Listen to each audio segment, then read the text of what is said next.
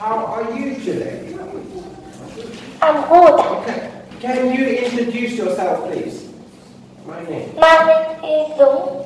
How old are you? I'm 16 years old. I'm from Vietnam. I live in city. Nick City. What do you like to eat?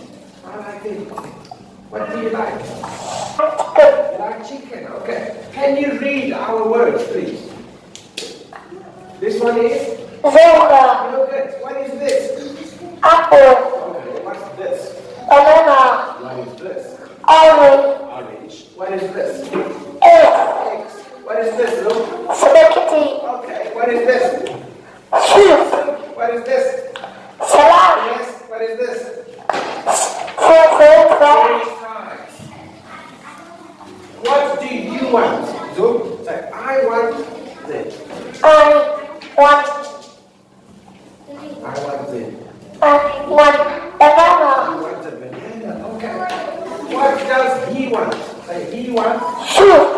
Okay. He wants it. He wants soup. What does she want? He wants French fries. French fries. What does he want? He wants spaghetti. Spaghetti. Boom. Thank you.